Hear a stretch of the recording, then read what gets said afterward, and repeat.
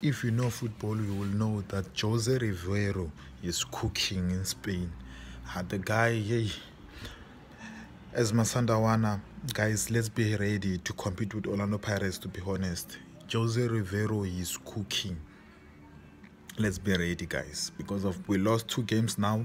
I understand that Manqoba is testing new players. You want to see who is who can play, who cannot, who can start who can be on the bench, who can be on the reserve. So yeah, and we are preparing uh, for um, I'm sure five competitions. So and Jose Riveiro is preparing for five competition as well. So he's cooking, guys. Jose Riveiro is cooking. Orlando Pirates is gonna be powerful.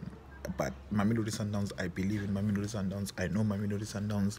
There's great players there, and they know football also. But Jose Riveiro is cooking we are going to compete now. Orlando Pirates and Mamelodi Sundowns is the only team that will compete this season, to be honest. Kabuyelo Masandawana.